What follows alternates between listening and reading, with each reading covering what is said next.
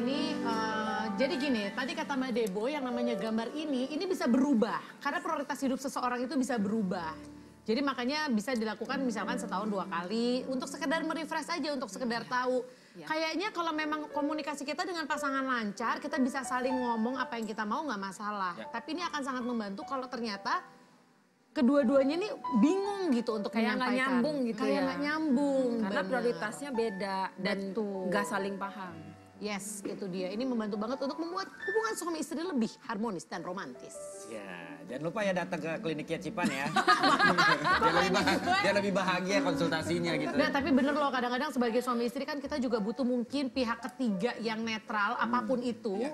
untuk bisa ngelurusin lagi Pak. Betul, kalaupun belum sampai ke titik itu paling enggak istri punya prioritas, suami punya prioritas dan masing-masing istri memprioritaskan suami sebagai nomor satunya, begitupun sebaliknya dengan begitu biasanya mungkin komunikasi bisa jauh lebih terjaga. Terus akhirnya masing-masing berusaha menyenangkan pasangannya. Itu kan jauh lebih baik kan? Iya betul sekali. Soalnya jarang-jarang dia Nah itu dia tuh. Gue lagi gue lagi mikir nih ada apa nih ya? Masukan apa gitu ya? Efek begini, otak gue bergerak.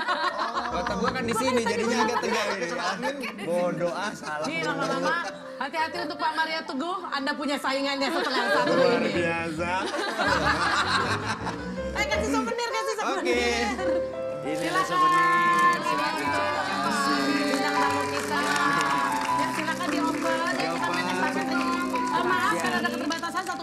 ya. ya, ya. Oh, iya, Basa Basi. Semoga Basa Basi bisa selalu menjadi pembelajaran untuk Anda ya Wendy ya. Ya, terima kasih semua bintang tamu. Sampai ketemu lagi. Bye. Terima kasih. Bye.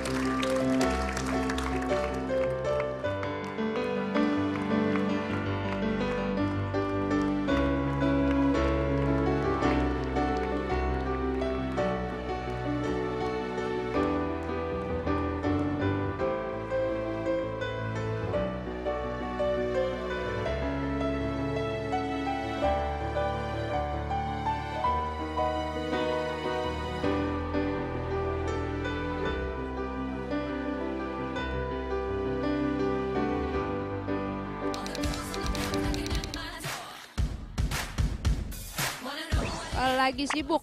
Kadang biarin aja sih. Kadang juga suka sebel juga. Kadang suka sms marah-marah. Kalau banyak yang dibahas yang nggak